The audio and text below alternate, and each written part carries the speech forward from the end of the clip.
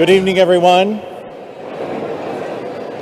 Before I get started tonight, it seems only fitting that we observe a brief moment of silence in memory of Washington Post contributor Jamal Khashoggi.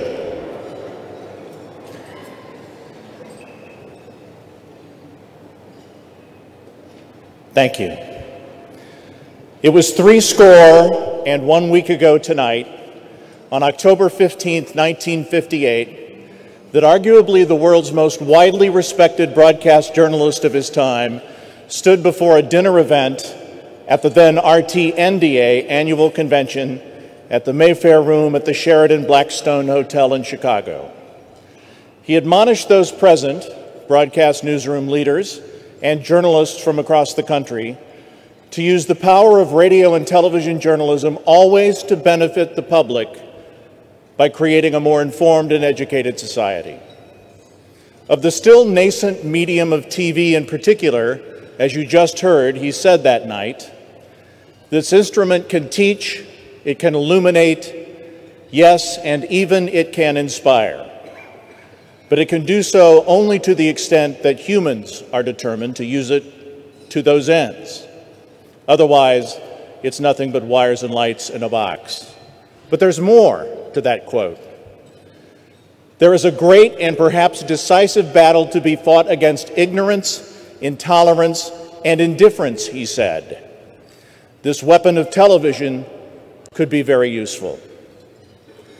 Tonight, as we gather in the beautiful historic Gotham Hall in New York City, illuminated by the images of the man who articulated those words, we honor the television, radio, and digital journalists who, during 2017, most exemplified the values of that intrepid founding father of our craft, Edward R. Murrow.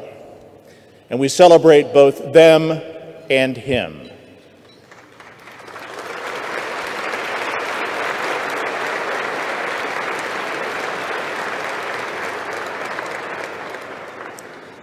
We do so at a time when saluting responsible journalism has never been more important.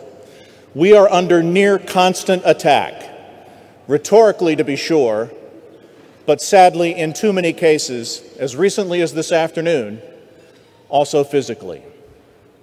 At last year's RTDNA Edward R. Murrow Awards dinner and gala, I stood in this very spot and I uttered words that bear repeating tonight. No one in this room is a purveyor of fake news. No one in this room is an enemy of the American people.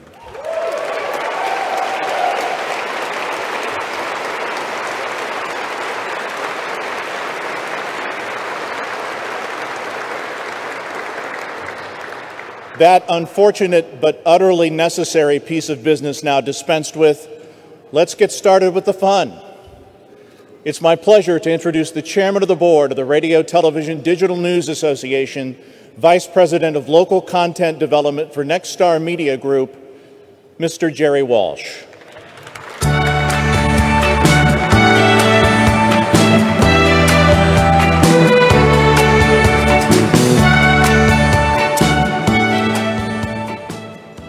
Thank you, Dan. On behalf of the RTDNA Board of Directors, I'd like to welcome you, we, would like to welcome this, which is the largest audience for our annual Edward R. Murrow Awards Gala.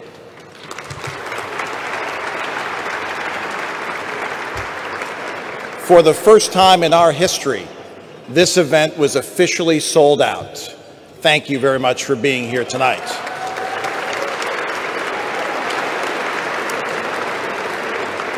But luckily, a number of people are watching tonight via the live stream on rtdna.org, and we welcome them in here as well. What a terrific gathering to help celebrate you, the 118 National Murrow Award winners. But before we begin tonight, let me recognize the fact that some were not able to attend this dinner because of the ongoing coverage of Hurricane Michael. The deadly storm caused widespread damage to several areas, especially the Florida Panhandle. We have all seen the pictures, read the stories, listened to the people who rode out the storm. Our thoughts and our prayers are with those who have lost loved ones and been impacted by this storm. But Hurricane Michael is, a, while Hurricane Michael is a national story, it impacts, the impacts of that storm were local. And tonight, as they have been since before the storm hit, local journalists are on duty, using digital, social, television, radio, and other media to inform. Responsible journalism on where basic life necessities can be obtained life-saving information about power restoration efforts, medical care, and meals. And journalists are there to ask federal, state, and local leaders what is being done for those in need. It is a job which will go on for many months and years. But it's important to recognize these journalists are also local residents of the communities that were impacted. They too were victims.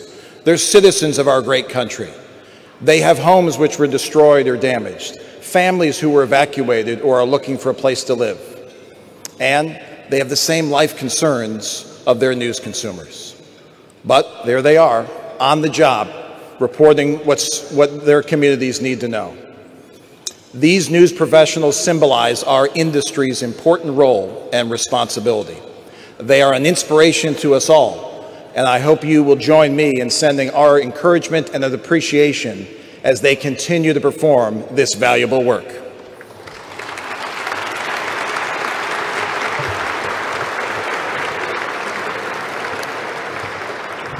Tonight, we recognize those who have uncovered impactful stories, produced exceptional work for their news consumers. We honor newscasts which have contained life-saving information and offered local relevance websites which demonstrated innovative ways to inform their users.